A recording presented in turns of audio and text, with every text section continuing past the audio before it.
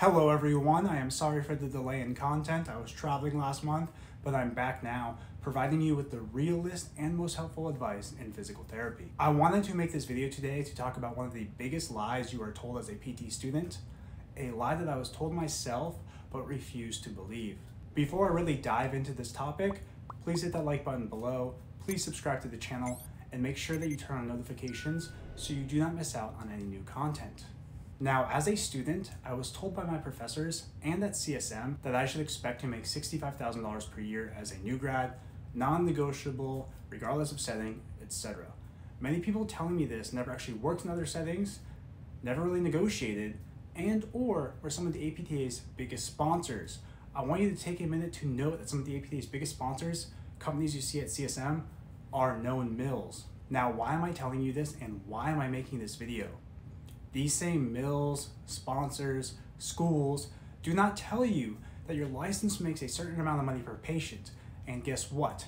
Your license does not become more valuable over time. So based purely on a billing perspective, there is no reason for discrepancy in pay between someone who's brand new and someone who's done it 10 plus years.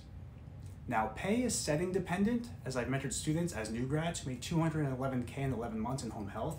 Yes, 211K, but I've also mentored those who made 100K in outpatient through understanding that their license generates revenue, understanding billing, and understanding negotiation. Furthermore, not only did I want to make this video to educate you on billing, but to educate you on contract negotiations. Unfortunately, many of you weren't taught labor laws, contract laws, or how to negotiate an offer but it is what you need to do to be successful as a PT and not become a burnt out staff PT with no upwards mobility. I do want to note, and I want you to note, that if you are paid hourly, it is illegal for you to work off the clock.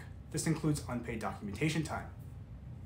If you are a full-time employee, or if you are paid per visit, it's going to depend on your contract, what's expected, but if you are doing things outside of that contract, or work-related tasks not in that contract, you may be entitled to some form of compensation for violation of labor laws. Most importantly, please do not accept any offer without negotiation.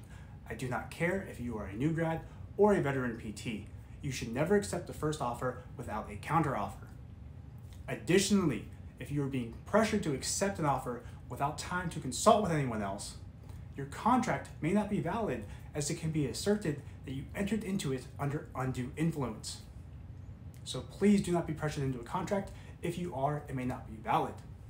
What I'm trying to get at is that you need to know your worth, negotiate, and don't listen to anyone else that tells you otherwise. You have a license that is a moneymaker, and you need to use that license to take your power back. These companies aren't going to get paid if they can't use your license. All right, that pretty much covers it. Before I go, don't forget that I'm giving away $500 cash and to enter, all you need to do is purchase my 10 CEU home health course through the end of May. A 40% off link will be in the description below.